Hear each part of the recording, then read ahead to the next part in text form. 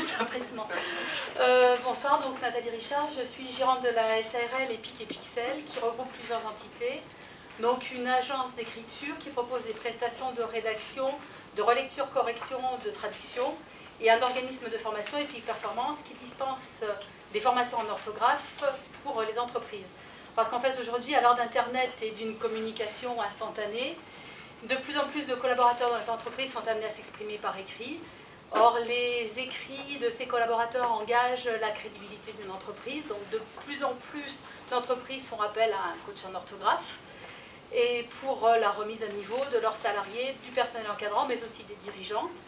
Partenaires euh, du projet Voltaire, on forme aussi et on prépare au passage du certificat Voltaire. Je ne sais pas si vous connaissez, c'est un, examen reconnu au niveau national qui permet de certifier son niveau en orthographe. あ!